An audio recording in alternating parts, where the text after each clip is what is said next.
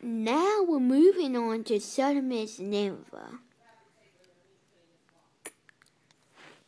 That's a hard one. Ninava will lose, I think. Miss beat Houston. I think Miss will pull this off. That's my guess. Southern Miss. We will go fight win. Go fight win. Go fight win Southern Miss.